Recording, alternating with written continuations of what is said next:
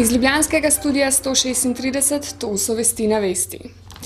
Ob 200. obletnici ustanovitve ilirskih provinc je Slovenijo obiskal francoski predsednik vlade François Fillon. Slovenskim premijerom Borutom Pahorjem sta pri križankah zasadila lipo, ki naj bi simbolizirala slovensko-francosko prijateljstvo.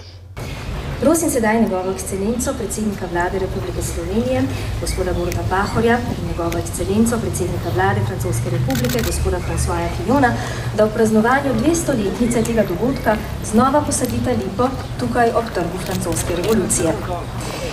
Je prie son excellence le président du gouvernement de la République de Slovénie, M. Borut Pahol, et son excellence le premier ministre de la République française, M. François Fillon, qui est bien vouloir monter une fois encore un tilleul ici, à proximité de la place de la Révolution française. To pravkar tudi počnemo z veliko energije. Excellence, merci beaucoup. Ekscelencama se najlepše zahvaljujemo. Zdaj pa prosimo tudi župana mestne občine Ljubljana, da lipo zalije. Maintenant, je vais demander à monsieur le maire de Ljubljana de bien vouloir arroser le tilleul. V tokratnih igrah brez meja je, kot smo videli, Slovenijo premagala Francija, borči večkrat lopato v roke. V petek opolnoči se je iztekel rok za vložitev kandidatnih list za junijske evropske volitve. Kandidature je vložilo 12 list, med njimi 11 političnih strank in ena skupina voljivcev. Kaj od volitev pričakujejo, sta povedala nosilka liste krščanskih socialistov Slovenije Maruša Benkič in nosilec liste stranke Mladih Slovenije Darko Kranc.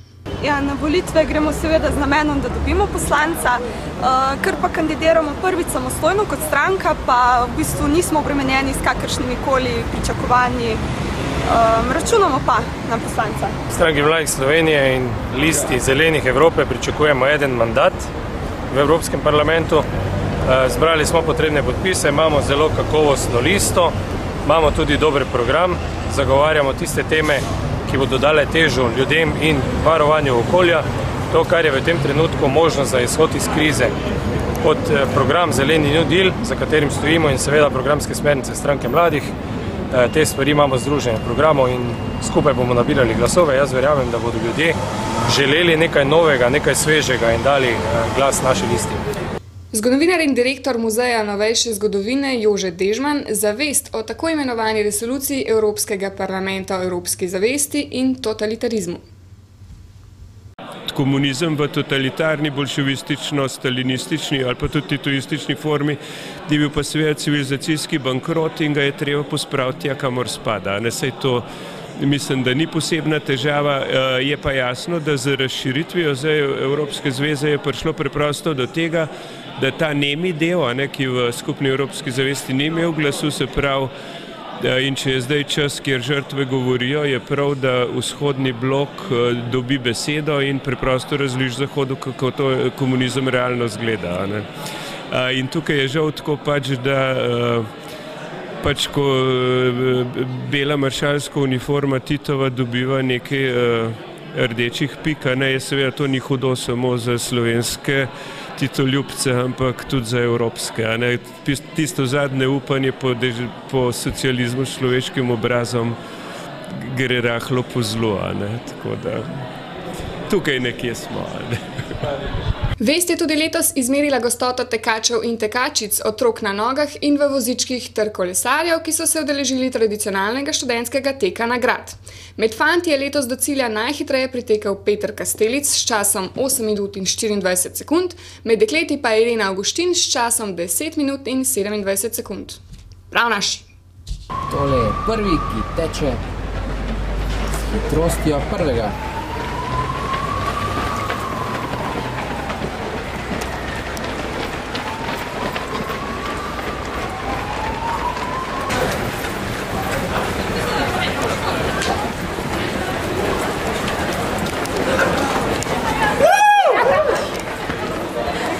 Komentar dneva, eden od ustanoviteljev vesti, Jonas Žnidaršič.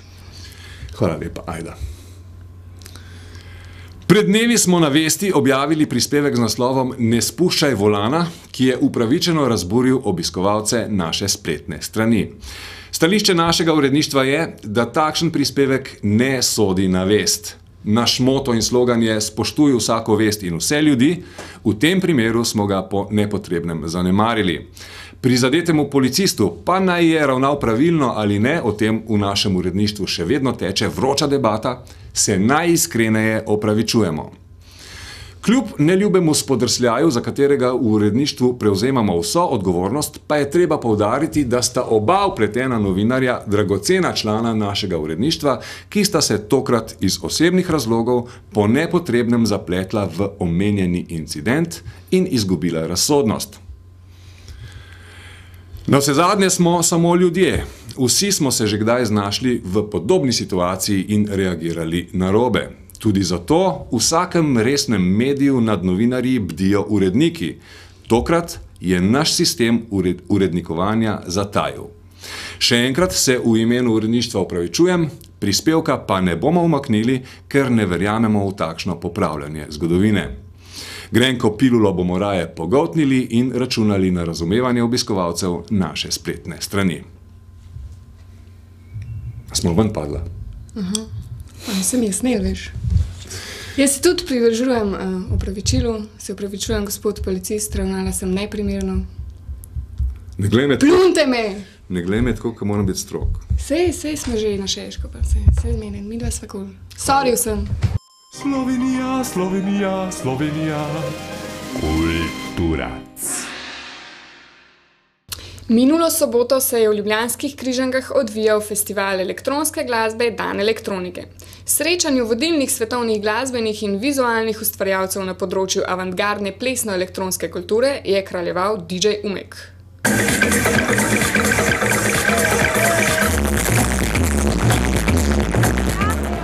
Kak, kak se vam je letos zdel dan elektronike? V bistvu ful fajn. Vsak let je fajn, lansko je bilo malo boljše, ampak dobro. Kdo vam je bil najboljši? Je Umek, kar. Umek. ful izbiraš.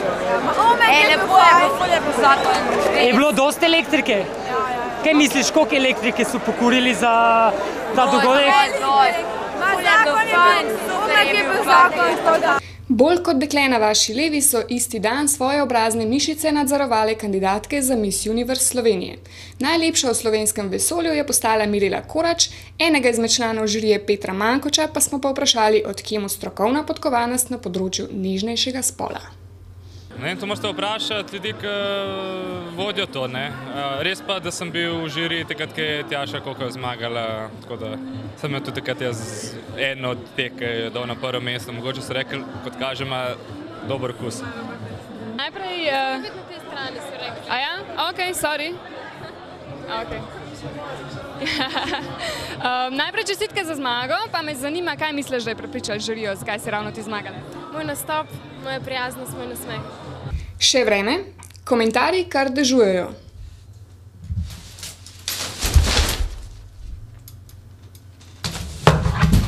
Iz Ljubljanskega studia 136, to so bile vesti na vesti.